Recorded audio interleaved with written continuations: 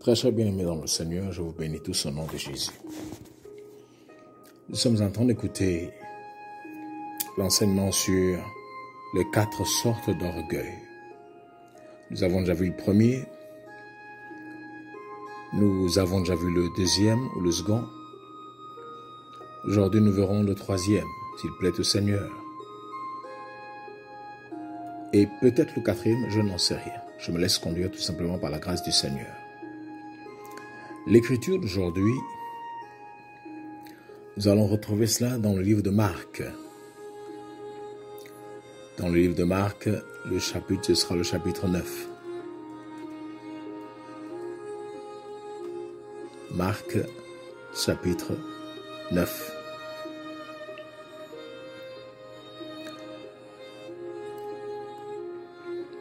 Marc chapitre 9.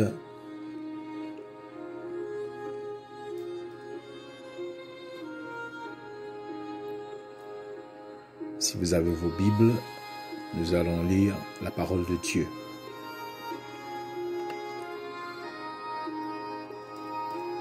C'est bien. Moi aussi, je suis. Lisons l'écriture. Marc chapitre 9, verset 38 jusqu'au verset 40. Marc chapitre 9, verset 38 jusqu'au verset 40. Écoutez la parole de l'Éternel.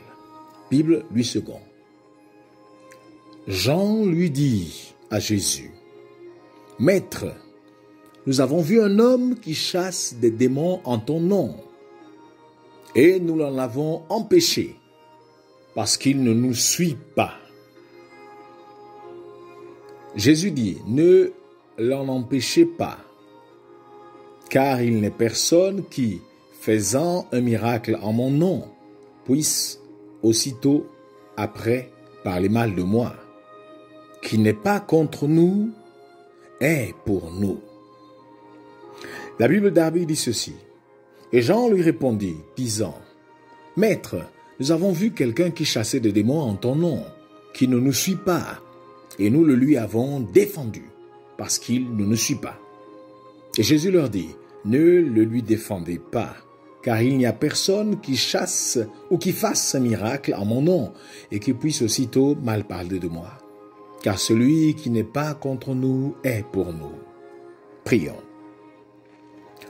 Père Saint, Dieu d'Abraham, d'Isaac et de Jacob, nous sommes ton peuple, le troupeau de ton pâturage. Nous voulons manger de ton pâturage spirituel maintenant. Donne-nous ta parole. Donne-nous la manne que tu avais cachée pour nous bien avant la fondation du monde, Seigneur, pour ce jour-ci, pour ce dimanche-ci, alors que cette parole est distribuée à ton peuple, que le Saint-Esprit utilise le don pour parler à ses enfants et les nourrir, car les églises sont fermées, les bâtiments, Seigneur Jésus, mais nous devons continuer à nous alimenter spirituellement parlant, alors que le Saint-Esprit fasse son travail et qu'il bénisse le peuple de Dieu au nom de Jésus qui écoutera cette bande. Amen. Amen. Que Dieu soit béni, que Dieu soit glorifié, qu'il soit exalté. Amen. Bien-aimés dans le Seigneur, nous avançons dans notre thème sur les quatre sortes d'orgueil. Nous avons commencé à examiner l'orgueil qui est comme l'orgueil sous-bassement, l'orgueil base. C'était l'orgueil propre, l'orgueil personnel, qui est cet ego surdimensionné que la personne a d'elle-même, qu'elle est importante, que toute la terre tourne autour d'elle, toute l'église tourne autour d'elle, toute sa famille tourne autour d'elle, tout le boulot, la société tourne autour d'elle, tout le département tourne autour de lui ou autour, autour, autour d'elle. La personne se sent importante, quoi. Elle est incontournable à ses yeux. Sans elle, rien ne marche. Ni dans la boîte, ni dans la famille, ni à l'église, ni dans le groupe de prière, ni je ne sais pas moi dans le ministère. Oui, c'est ça l'ego surdimensionné dont on a parlé dans la première bande. Le fameux moi, le fameux je. Et comme je vous l'ai dit lors de la deuxième partie, la deuxième bande, c'est la base ou le soubassement de toutes sortes d'orgueils que vous pourrez rencontrer ici et là autour de vous. Pourquoi pas? La base, c'est d'abord cet orgueil propre et personnel ce jeu, ce moi. Il n'y a que moi. Alors lorsque cet orgueil existe dans un homme ou dans une femme, vous verrez maintenant toutes les autres manifestations arriver ici et là ou ce, enfin, apparaître ici et là dans la vie de cette personne-là. L'orgueil va attirer l'égoïsme. La personne n'a Dieu que pour elle-même. L'orgueil va attirer l'égoïsme. Les autres ne valent rien.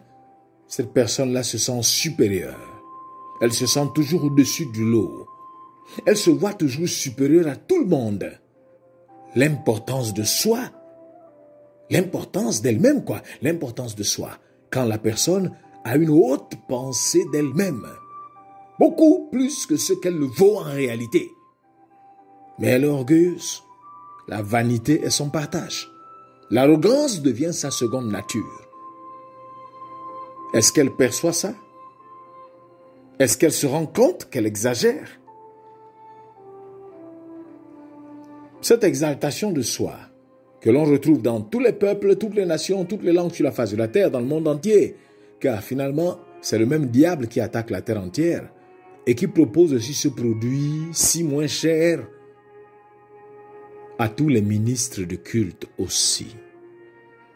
Les hommes de Dieu aussi sont attaqués par ce démon d'orgueil là. Ouais, parce que finalement, la personne en qui s'est manifesté l'orgueil pour la première fois au ciel, c'était qui? Lucifer. Qu'est-ce qu'il a fait? Il a prêché aux anges qui étaient au ciel. Et cette prédication a réussi à prendre quoi? À prendre une bonne partie des anges là-bas du ciel. Il leur a fait avaler cette pilule-là. Et alors ils ont été, vous savez, vaincus et précipités dans le limbe de l'enfer. Et oui, c'est le même diable qui continue encore à prêcher, comme il l'a fait là-bas aux anges dans le ciel. C'est ainsi qu'il le fait sur la terre. Et la Bible dit quoi? La Bible dit que le jugement commence par la maison de Dieu. Car il est temps que le jugement commence par la maison de Dieu, dit l'apôtre Pierre. Alors s'il est temps que le jugement commence par la maison de Dieu, pourquoi vous pensez que Satan ne sait pas qu'il faut frapper la tête afin que le troupeau se disperse? Bien sûr qu'il le sait. Il doit attaquer la tête dans une église. Il doit attaquer l'homme de Dieu. Il doit attaquer le don de Dieu. Il doit attaquer loin de Dieu. Il doit attaquer celui qui est le berger du troupeau, le pasteur de l'église. Parce que s'il réussit à frapper la tête, eh bien le troupeau se disperse. Le troupeau ne pourra pas se conduire tout seul. Tout seul. C'est impossible. Une brebis a besoin d'un pasteur pour être conduite. Alors Satan, fort de toutes ces écritures, il sait que Dieu perfectionne son Église par l'œuvre du ministère à travers des Éphésiens 4, 11, des apôtres, des prophètes, des évangélistes, des pasteurs et des docteurs. Il sait que Dieu utilise ces saints ministères-là pour perfectionner son Église afin de la préparer pour aller s'asseoir aux noces de l'agneau. Alors qu'est-ce qu'il fait? Il faut qu'il attaque donc ces cinq hommes-là, ces cinq ministères-là, de telle manière qu'il puisse alors bousiller une bonne fois toute l'assemblée. Qu'elle soit une assemblée de 5 personnes, 10 personnes, 50 personnes, 100 personnes, 1000 personnes, 10 000 personnes, s'il frappe la tête, il sait qu'il va damer fort dans l'assemblée. Ce que j'essaie de vous dire maintenant, c'est que ces hommes-là sont aussi attaqués. Qui? Les hommes de Dieu. Alors nous parlons maintenant du troisième type d'orgueil. Qu'est-ce que c'est ce troisième sort d'orgueil? C'est l'orgueil ministériel l'orgueil ministériel. Commençons par les jeunes ministres du culte, hein, ou les postulants, ou les prétendants au ministère, ceux qui pensent qu'ils ont un appel pour prêcher la parole de Dieu. Peut-être qu'ils ont déjà commencé à prêcher la parole. Et comme ils prêchent bien, tout le monde dit Amen, on lui dit, oh, la prédication était bien, mon frère. Oh, la prédication était puissante, bien aimé. Ce n'est qu'un jeune ministre en train de commencer, ou il vient à peine là de commencer il n'y a pas longtemps. Commençons par ceux-là. Après, on ira toucher les vieux, les plus expérimentés. Mais commençons par les jeunes. Nous parlons sur l'orgueil ministériel. Ça veut dire quoi? L'orgueil au milieu des ministres du culte, l'orgueil au milieu des pasteurs, l'orgueil au milieu des hommes de Dieu. Ça existe ou ça n'existe pas? Je vous ai dit que le diable frappe la tête afin de disperser l'église ou le troupeau. Donc les hommes de Dieu sont attaqués ou pas? Écoutez, je vais vous dire quelque chose. Comment enseigner, parce que je sais que c'est la vérité, dans une église. Lorsque vous voyez qu'il y a un homme de Dieu de haut de la serre, le pasteur local, le pasteur titulaire, et l'assemblée tout entière, même s'il y a des pasteurs qui prêchent autour de lui, des prédicateurs et tout, mais la personne la plus attaquée dans cette assemblée-là, c'est le pasteur qui est la tête de l'église. Il est la personne la plus attaquée dans cette assemblée-là. C'est lui la tête que le diable doit faire tomber. Vous savez, quand il avait attaqué l'église de Dieu au jardin d'Éden, entre-temps, pendant que je suis en train de parler, prenez 1 Timothée chapitre 3. 1 Timothée chapitre 3. Quand il avait attaqué donc l'église de Dieu, la première église de Dieu, la première famille de Dieu sur la terre, au jardin d'Éden, il a attaqué la femme, Ève, l'église. Car la femme de la nuit représente toujours l'église. Quand il a attaqué Ève, elle est tombée. Vous vous rendez compte que Dieu n'est pas descendu pour chercher Ève. Dieu n'est pas descendu. Il savait, il a vu qu'il y avait un problème sur la terre, mais il n'est pas descendu. Pourquoi? Parce que pour Dieu, il n'y avait pas de problème. Oh, comment ça, homme de Dieu? Il n'y a pas de problème. C'était Ève qui avait commis l'erreur. C'était la femme qui avait péché. C'était l'église qui avait péché. Mais le pasteur Adam, celui qui était du haut de la chair, qui l'avait laissé du haut de la chair au jardin d'Éden, était encore debout dans les Écritures et en ligne avec son Dieu. Alléluia. Tant que le pasteur est debout, il a les Écritures, il est en ligne avec la parole. Même si dans l'assemblée, une sœur tombe, un frère tombe, une sœur trébuche, un frère trébuche, une sœur commet une erreur, un frère commet une erreur. Tant que l'homme du haut de la chair est en ordre avec Dieu, le Saint-Esprit lui donnera la parole adéquate, l'inspiration adéquate afin de relever cette âme-là au nom de Jésus. Donc, tant que le pasteur est debout avec la parole de Dieu, il n'y a pas à s'inquiéter. Voilà pourquoi ne vous inquiétez pas, vous qui êtes sous ce ministère.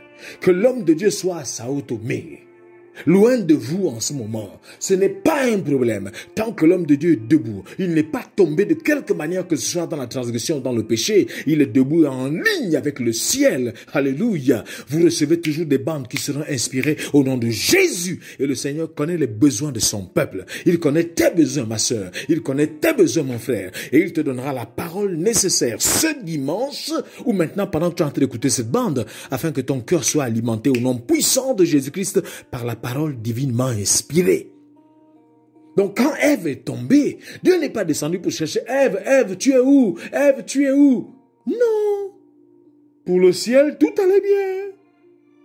Parce que c'était que l'église, ce n'était que l'église. Le pasteur, l'homme avec qui Dieu traite, le canal où le ciel se déverse pour bénir l'église. Ce canal-là était encore en connexion avec l'éternité. Il n'y avait pas de souci.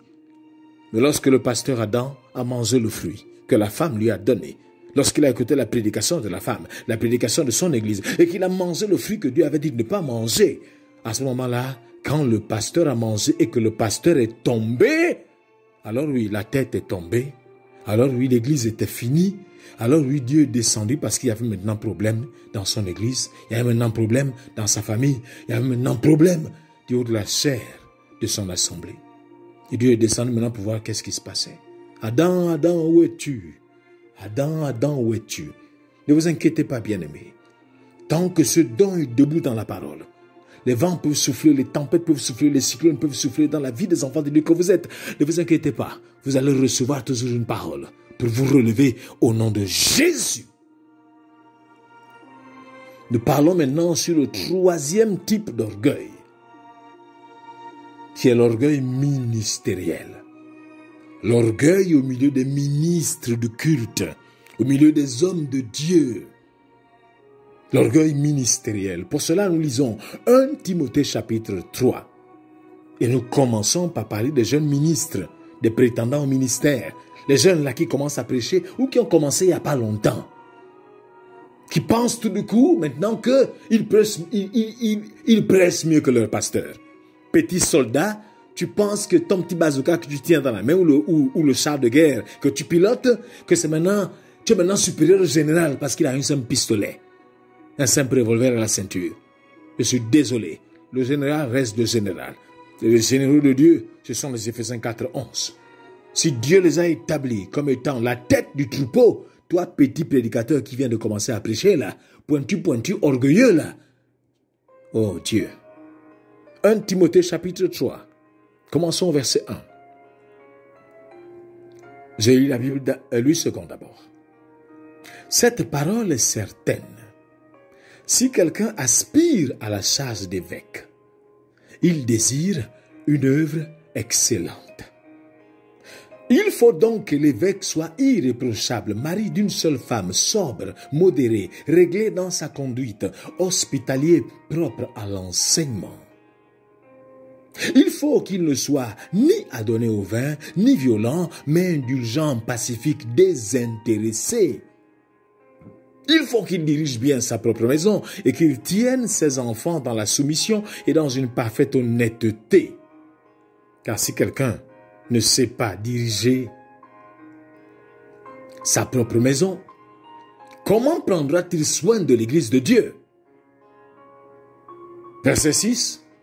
Il ne faut pas qu'il soit un nouveau converti, de peur qu'enflé d'orgueil, il ne tombe sous le jugement du diable de peur que, enflé d'orgueil, il ne tombe sous le jugement du diable.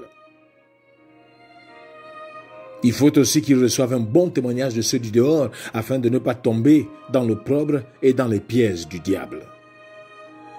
Je lis maintenant la Bible d'Arbi. Parce que là, peut-être que le mot évêque vous a fait balancer la tête. Hein? je prends la Bible d'Arbi. Écoutez. Cette parole est certaine. Si quelqu'un aspire à la surveillance, il désire une œuvre bonne. Il faut donc que le surveillant soit irrépréhensible. Mari d'une seule femme, sobre, sage, honorable, hospitalier, propre à enseigner, non à donner au vin, non batteur, mais doux, non querelleur, n'aimant pas l'argent, conduisant bien sa propre maison, tenant ses enfants soumis en toute gravité. Mais si quelqu'un ne sait pas conduire sa propre maison, comment prendra-t-il soin de l'assemblée de Dieu? Vous voyez, quand on dit surveillant, surveille quoi? L'assemblée de Dieu. C'est quoi? C'est un homme de Dieu qu'il ne soit pas nouvellement converti de peur qu'étant enflé d'orgueil, il ne tombe dans la faute du diable. Il faut aussi qu'il ait un bon témoignage de ceux du dehors afin qu'il ne tombe pas dans le probe et dans le piège du diable. Il est clair donc, comme dit l'apôtre Paul, que les nouveaux convertis, ceux qui sont en train de commencer dans la prédication, pour parler comme cela. Nouveau converti par rapport à quoi? Par rapport à la chair, cette fois-ci. Il vient à peine de commencer à la chair, il vient de démarrer à prêcher. Ça fait pas longtemps qu'il a commencé à nous apporter la parole à l'église. Ça fait six mois, ça fait un an, ça fait deux ans. Le pasteur est là en train de le chapeauter et tout, de le former, etc., etc. Ceux-là, Satan les dégaine rapidement. C'est ce que Paul enseigne ici. Alors on ne peut pas leur confier beaucoup de choses. Parce qu'ils pensent qu'ils sont déjà devenus plus que le pasteur local. Plus que tel autre prédicateur qui est là depuis longtemps. Et la tendance de ces jeunes-là, c'est toujours de prêcher pour faire beau, pour faire joli, pour se faire remarquer. Essayer de bricoler un mystère ici et là, pour dire que le pasteur n'a pas ces mystères-là, c'est moi qui en a. Et Satan rapidement commence à les enfler.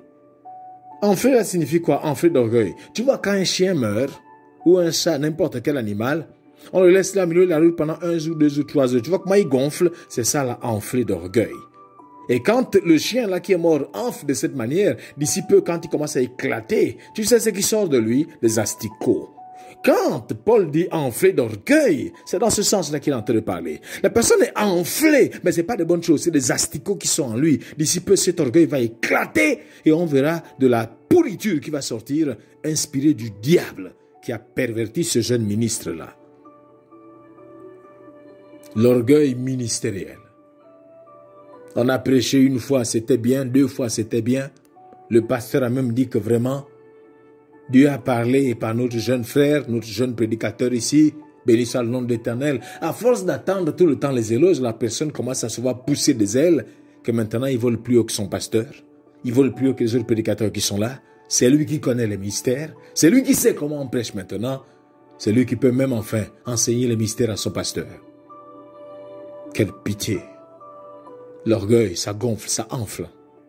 Mais ça n'enfle pas par la grâce de Dieu, ça enfle par les asticots du diable qui sont dans le cœur de cette personne-là, qui sont en train de le contaminer maintenant. Attention à l'orgueil ministériel.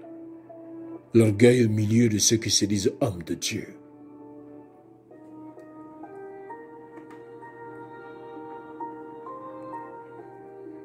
Maintenant, l'écriture que nous avons lue, Marc chapitre 9. Ce sont des hommes qui sont là avec Jésus. Hein? Ils ont la chose véritable. Pourquoi je dis cela? Parce qu'ils marchaient avec le véritable. Ils marchaient avec le véritable prophète de Dieu. En ce temps-là, Jésus-Christ de Nazareth, le Messie, le Fils du Dieu vivant. Jean marchait avec lui. Pierre marchait avec lui. Matthieu marchait avec lui. Il marchait avec la véritable chose. Véritable V avec V majuscule. Oh, pardonnez-moi. Chose avec C majuscule.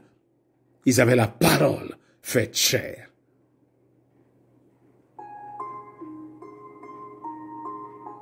Alors, c'était des ministres, oui, qui avaient été appelés par qui? Par Jésus lui-même. Des ministres du culte, des ministres de la parole de Dieu.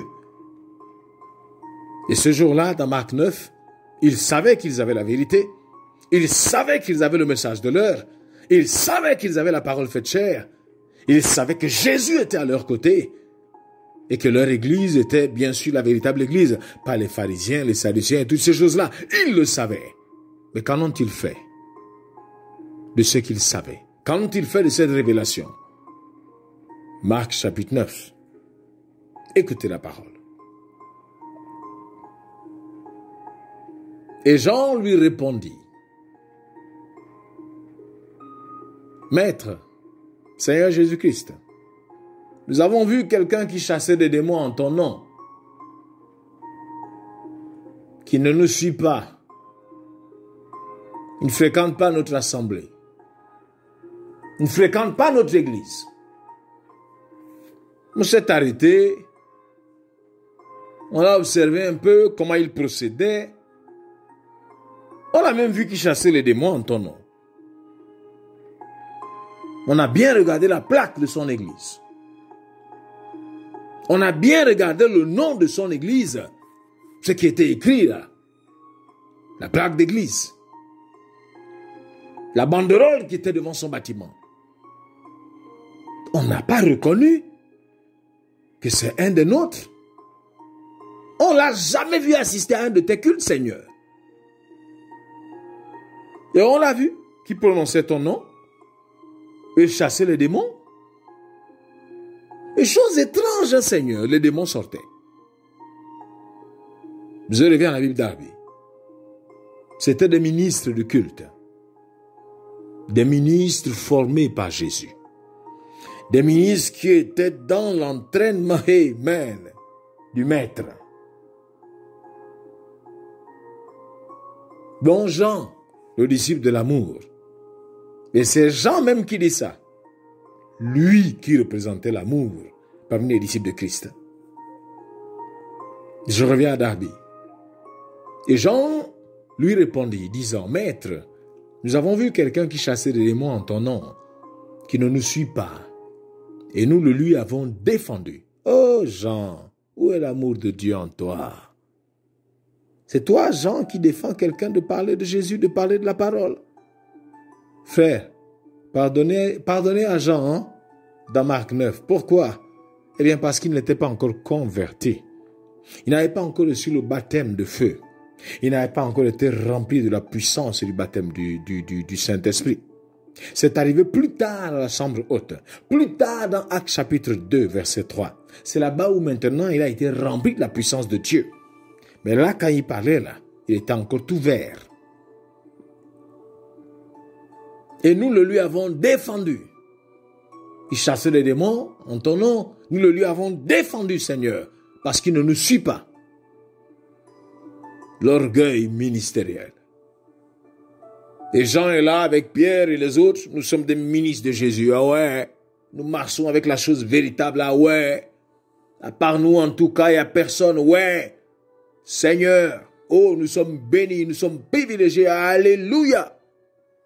Et pendant qu'ils vont acheter le pain, je ne sais pas quoi, ou aller acheter de l'eau, ou prendre de l'eau pour le mettre, quand ils sont sur le chemin du retour, ils voient un élément, un individu, ils ont bien regardé, ça c'est qui encore? Matthieu dit, mais ça c'est qui? Pierre dit, mais comment? Jean, tu connais l'élément Je ne le connais pas. Attends, observe. Et l'élément en train de prier, il chasse les démons au nom de Jésus. Le démon sort au nom de Jésus. Il dit, ah Et Jean dit, non, non, non, non, non, ça suffit comme ça. Eh, eh, eh, monsieur, même pas frère en Christ, hein, monsieur, monsieur, nous, nous sommes des vrais ministres de Jésus. Nous marchons avec ce qui, le véritable, l'authentique, avec le vrai ministre de Dieu, le vrai prophète de Dieu.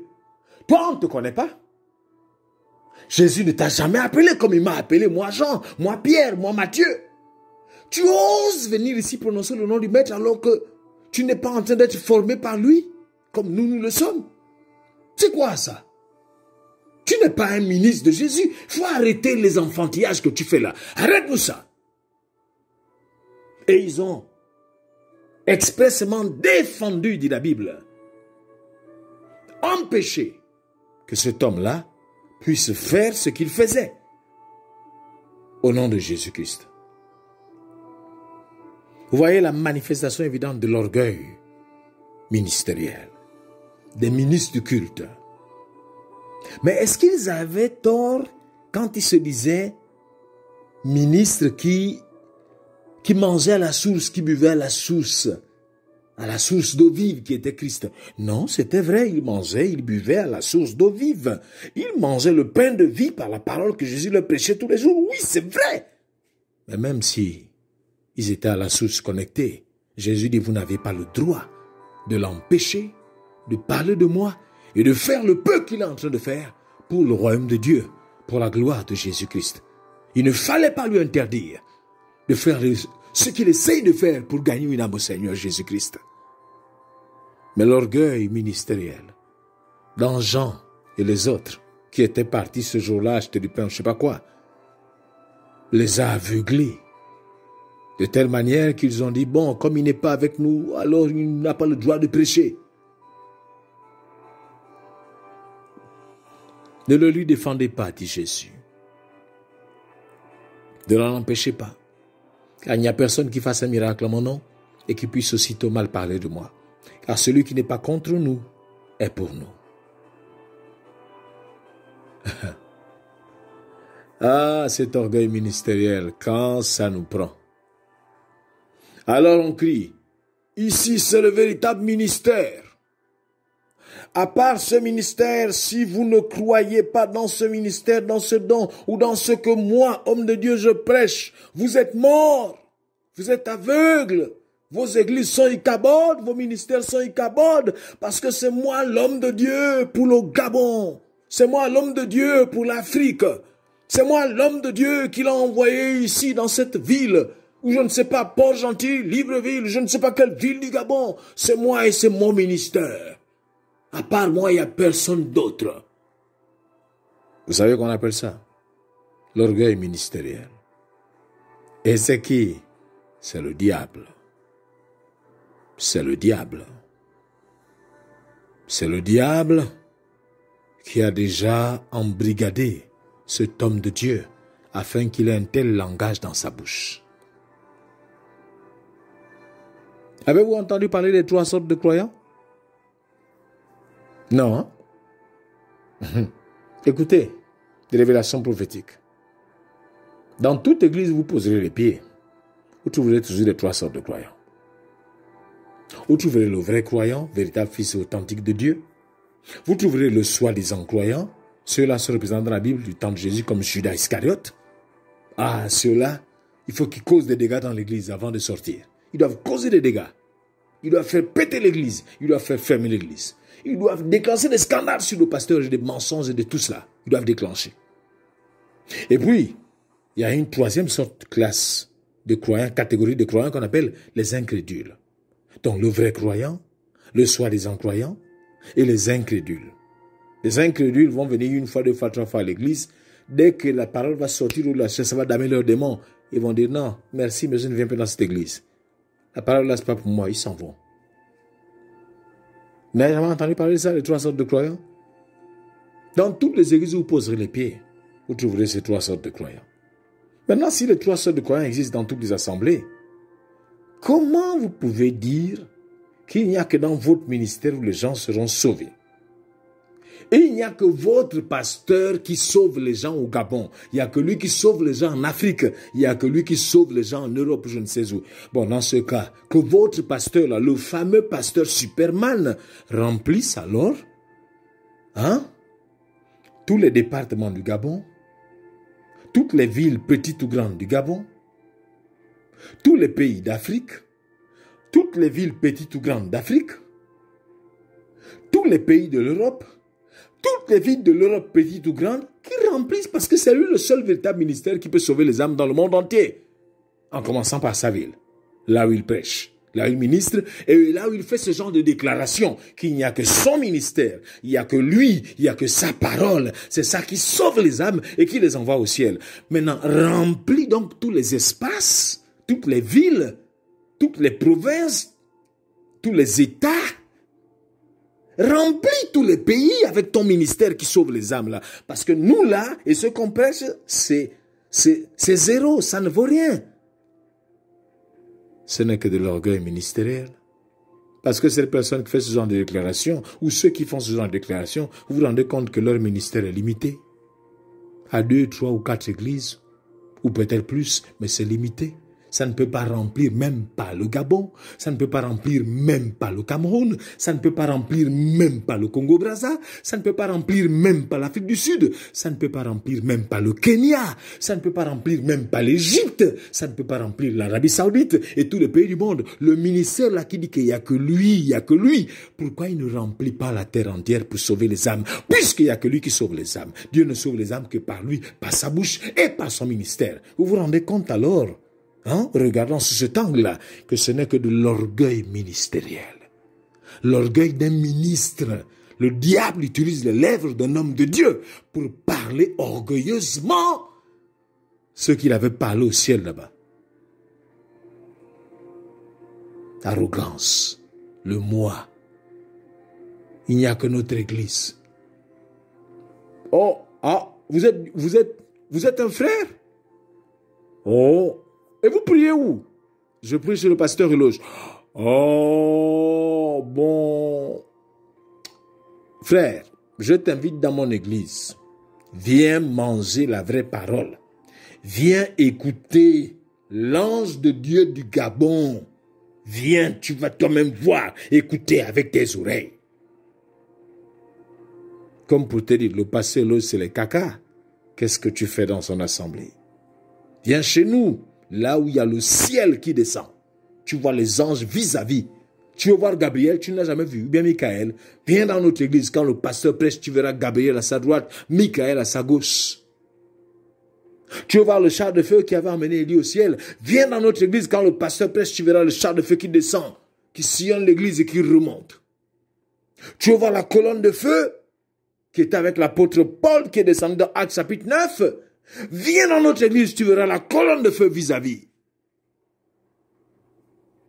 L'orgueil d'un ministère.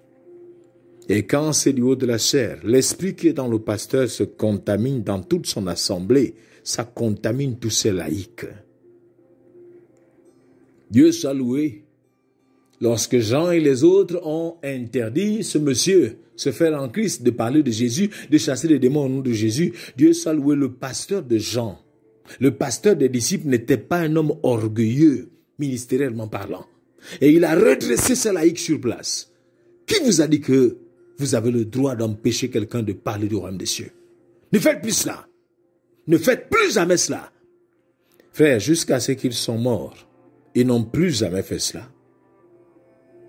Mais n'y a-t-il pas des gens pour lire la même Bible que nous lisons?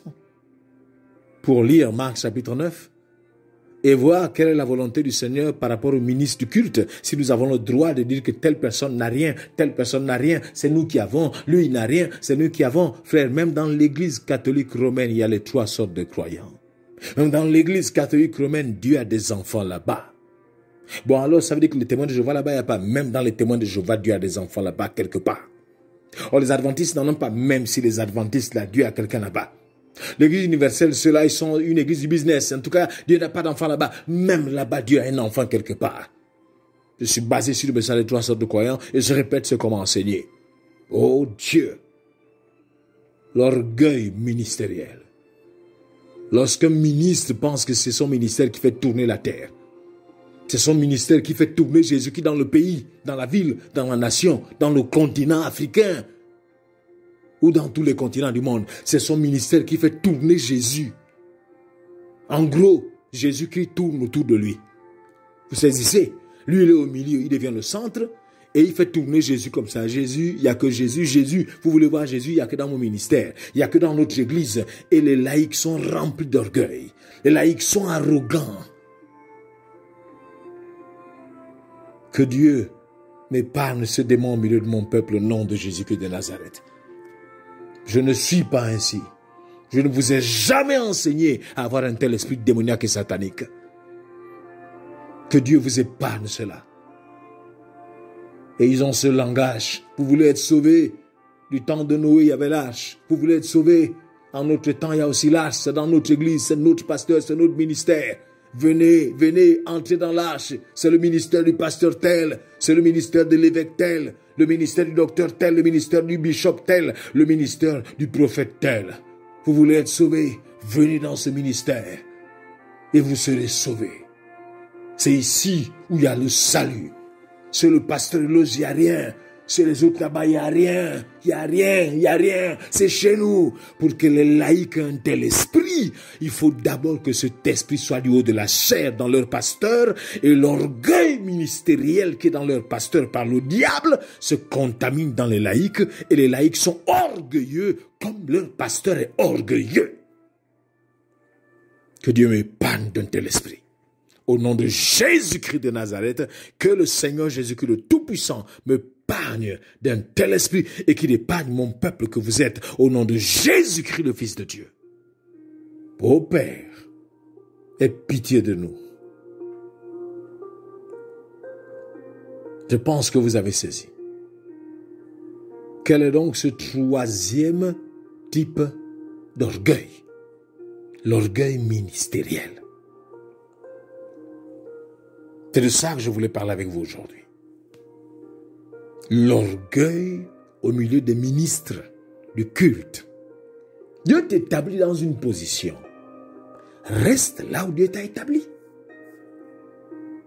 Pourquoi tu t'enorgueillis au point de vouloir maintenant faire et dire des choses, penser que tu es quelque chose d'important ailleurs, et, et d'ailleurs, quelque chose la chose la plus importante, quoi. Les autres sont sous tes pieds. Les autres sont ton marche-pied. Tu es là, le grand ministre, costume, cravate. Et il faut que tous les autres viennent te faire la courbette. Hein?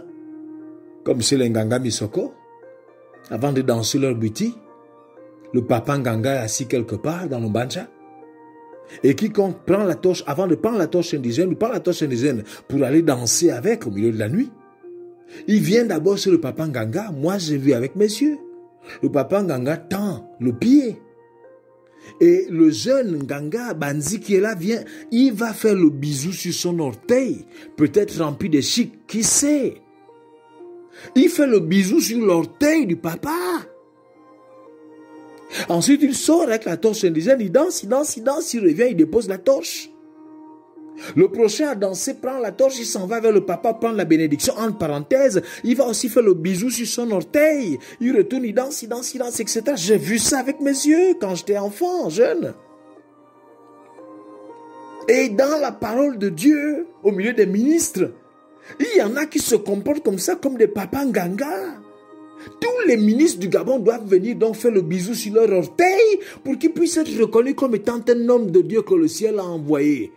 Parce que tout le ciel, c'est l'homme de Dieu là qui détient ça. Et c'est lui qui a l'onction ministérielle du Gabon ou de l'Afrique ou je ne sais de quel pays. Oh Dieu Comment le diable peut mettre cet orgueil ministériel dans le cœur des hommes qui se disent hommes de Dieu et contaminant leur peuple tout entier? Tout pointu, tout touffu, enflé d'orgueil, comme dit l'apôtre Paul. Et vous savez, enflé là signifie quoi? Rempli d'asticots. Après, quand le chien éclate parce qu'il a enflé, vous voyez les asticots qui sortent comme ça sent mauvais? Miséricorde, Seigneur. Aie pitié. Ouais, le roi Osias avait pensé cela. C'est un roi béni, béni, béni. Dieu l'a béni comme roi, béni, béni. Et alors, qu'est-ce qui s'est passé? Il a pensé qu'il pouvait maintenant aller au temple pour être maintenant un ministre du culte. Il est sorti de son palais de roi. Il a pris l'encensoir, il est arrivé, il est rentré. Azaria est rentré, le souverain sacrificateur. 80 sacrificateurs le suivaient derrière. Et tous se sont, ils ont, tous sont fait bloc contre le roi. Roi, tu es roi, tu es un politique, tu es béni, c'est bien. Mais n'entre pas dans les affaires de Dieu. N'entre pas dans le sanctuaire pour brûler l'encensoir. Tu n'es pas un ministre du culte. N'entre pas ici. N'entre pas ici. Sinon la malédiction t'attrape. Reste là-bas au palais en train de signer tes décrets, mais n'entre pas dans les affaires de l'éternel. Azaré a dit quoi? Vous parlez comme ça avec moi? Un roi béni comme moi? Paf la lèpre a déclenché sur lui. Quand il a vu comment la lèpre éclatait sur, son front et sur son corps, il a laissé tomber l'encensoir, il a couru vite hors du sanctuaire, car il était maudit à ce moment-là. Oui, quand on pense que parce qu'on est béni, quelque part dans un certain domaine, on veut maintenant alors s'arroger la suprématie de toutes choses, de tous les domaines et de tous les angles. Ouais, Dieu a établi cinq ministères. Apôtre, prophète, évangéliste, pasteur et docteur. Moi, je ne me suis jamais réclamé être rien d'autre qu'apôtre. Ça, ça ne date pas d'aujourd'hui. J'étais au Brésil quand Dieu m'a révélé quel était mon ministère et je remplis mon ministère, point barre.